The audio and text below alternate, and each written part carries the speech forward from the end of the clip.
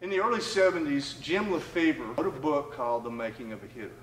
And in that book, he discusses the importance of centrifugal force. I don't know of anybody else that talks about centrifugal force. It is incredibly powerful and allows even small kids to have great bat speed and pop or power to be able to hit the ball a long way. Imagine you're on a freeway on a flyover and you're going 70 miles an hour.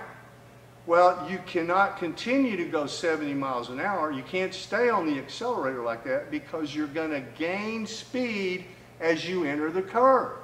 You have to back off that because of centrifugal force. The same thing happens with a baseball bat. We're going to bring that thing back from here, which is lag, and we're going to turn our body as fast as I can and allow this release of the bat not make it happen.